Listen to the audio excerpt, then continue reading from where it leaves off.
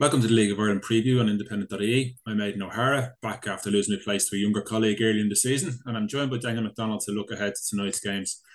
And speaking of value experience, Dan, Chase and Pack have really blown their chance to take advantage of Shamrock Rovers slip ups. The game against Shelbourne for Rovers might represent the last big hurdle, do you think, to prevent them from winning four in a row? Yeah, Joe, I've been thinking about that. I, I've been saying that. And then the flip side is they've dropped points to like the, the whole reason they're probably the, the title race is open is because they've dropped seven points to Drogheda and five points to Cork. Um, and their their points per game against the top teams is very good.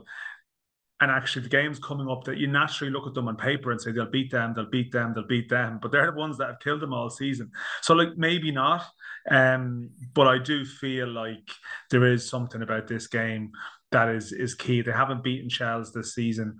Um, the you know Shels are getting better. and they have a good profile for the type of team that can cause Rovers a few problems just in the way they play. They can sort of break quickly and and um, albeit they're vulnerable enough in set pieces, which which mm. Rovers might fancy um, exploiting and have done in the past. Um, but yeah, it does just feel at this stage like you know Rovers opened the door last week and no one no one actually went through it. Um, so if they approach a game like this, a tough game on paper, and win it in any way, doesn't matter how they win it, if they succeed in winning it, um, it does feel like a long way back for everyone else. It's kind of been the theme of the season. Rovers have been leaving the door open, but nobody's walked through it.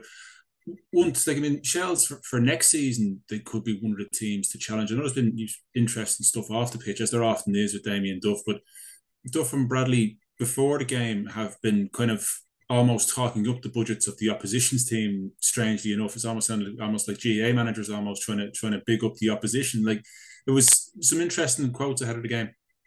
Very much so, yeah. Um, a sort of an interesting build up, all right, and um, you know, a couple of us spoke to Damien Duff earlier in the week about this game, um, and very respectful towards Rovers because he was a member of Stephen Bradley's staff, which people might forget, and he was there very under the radar at the time, but he would be on the dugout, you know, in, in the sidelines. He was around Rovers um, to varying degrees, um, and and yeah, he did like he he was talking sort of wistfully about it, and then but the instant instant it was suggested, well, maybe Rovers had issues then because they had a small budget because he was there before they started mm-hmm. winning stuff. He straight away clicked into manager mode of no, no, no, they had a very big budget then. So there's a good friendship between these two, and, and you know, good relationship, but there's a rivalry underneath it as well, and. Uh, and then Stephen Bradley yesterday speculating that Shells might have the biggest budget in the league next year. Now, Stephen Bradley might be more playing a little bit of a game with his own, or maybe not playing a game, but sending a message to his own club that um, you know other clubs are coming here. And I suppose it's the story that's you know people might be reading this morning is is Stephen Bradley now suggesting that talks around the budget and his own position are going to be delayed till the end of the season. Where a fortnight ago he was suggesting there was a board meeting that hopefully will get things moving on. Now it's all left a little bit uh, opened for interpretation and um, what was being said between the lines of comments. So, um, and, and the other angle to it is that I mean Stephen Bradley and Damien Duff probably at some stage in the future might want to manage Ireland, like they'll have ambitions to probably to get there. Um, if Stephen Bradley left Shamrock Rovers, which is possible, would they look to someone like Damien Duff? They probably would. His contract is, is actually up. Um, Stephen Bradley's situation is unclear. So there's a lot going on around these mm-hmm. two camps. Now, it may end up, by the way, in February, Stephen Bradley's managing Rovers and Damien Duff is managing Shelbourne, right? But there is just things up in the air at the moment, which add another layer to the actual importance that's around this game too. Mm-hmm.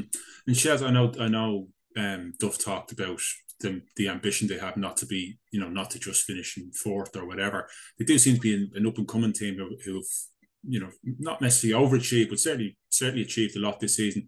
Two teams that are probably frustrated though, the two teams behind Rovers, Derry and Pats. I mean, Derry play UCD at home, Pats going down to Cork against the new manager. They obviously have to win to to to um, try and keep whatever pressure they have on Rovers. Do you see two wins, or how do you see it going? It's very very difficult to stage to know.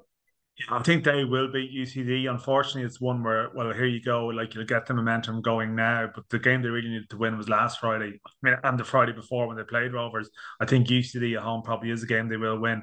Um, so Pats, yeah, I know I've probably been a bit critical of them recently. Um, I just haven't been particularly impressed by them uh, in the in the games that I've watched them. You know, just uh, watched them play Shels last month, and I, I thought Shels were were better.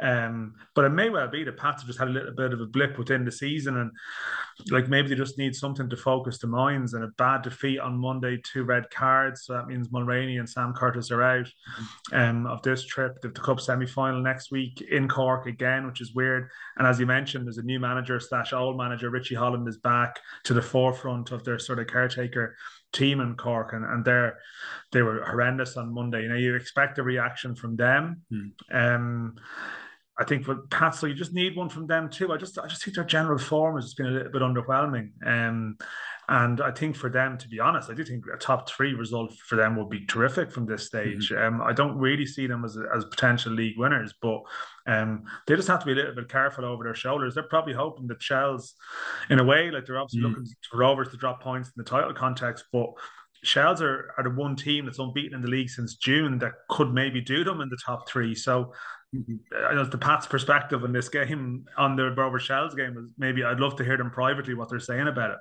Yeah, yeah, it's a three point gap I think between between Pats and Shels. Obviously, if Shels drop points, that helps Bohs potentially with the fourth. They they play Sligo looking for a win, obviously, and then behind Bohs Dundalk, who are hosting Drogheda. It's a potential bit of a perfect storm game for Dundalk to be facing into it. Drogheda in a bit of form, local rivalry. You know, Stevie O'Donnell's still probably under a bit of pressure it's it, it's it's not probably the ideal game that Dundalk want to be want to have.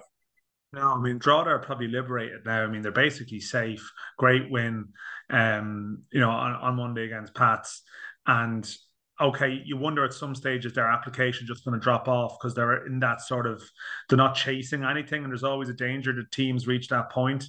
Um, but they don't, you know, they all have their own motivations and ambitions. So mm-hmm. uh, I think the Dock were quite good on Monday against Cork, but it's hard to know what they beat. And they were good in the first half last week and conceded bad goals. So um, yeah, that's a tough one for Dundalk. And I think that equation you mentioned, Bohs may as well deal you know, the Bohs and mm-hmm. Sligo Rovers game. That I think Bohs actually in some ways, like they're in a difficult spot in terms of that top three finish. They do have the cup that the others, that Dundalk and Shels don't have yeah. in the back pocket as an option. Um, but their run in is actually kind enough if they can win this game. Um, I think this is a big game for Bohs. That if they do this, they'll they they they have a chance of, of still sneaking into third spot, albeit I can't see them doing it without winning this fixture. So um Sligo Rovers are probably okay now with Cork's situation. Um mm-hmm. probably just on the verge of being okay. Um and Bohs need to start games better, which has been a bit of an issue for them recently. Yeah, so plenty of talking points for the evening. Dan, that's great. Thanks so much for joining us and we'll speak to you again soon. No worries, uh, Aidan. Thank you very much.